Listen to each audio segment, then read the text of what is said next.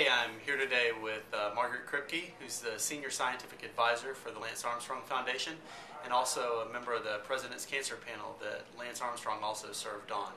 So, Margaret, can you tell our constituents uh, what are the top four or five things that they can be doing to make their voices heard around cancer control?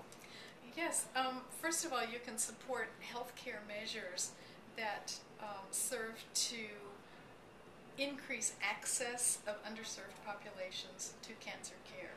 We know that lives can be saved from cancer if people have access to appropriate cancer Yep. care.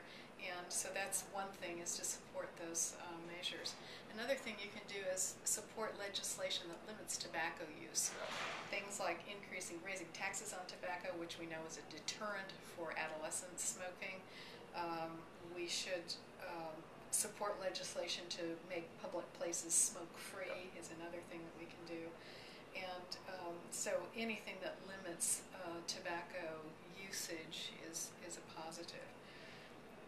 Another thing that people can do is ask their legislators, if, when they have the opportunities, to um, what they're doing in terms of controlling cancer. What are they doing in their own work to reduce the burden of cancer? At least that puts cancer on their radar screen and makes them Yep. aware that this is an issue of interest to the constituents. So, regardless of what they're doing, they should be doing something. Yes. Yes. Yes. Um, fourth thing is that you can promote healthy lifestyles in your own community.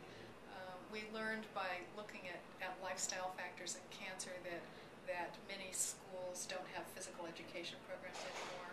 They don't have healthy nutritional uh, programs in schools, and so those are some of the things in your own community that you can uh, advocate for.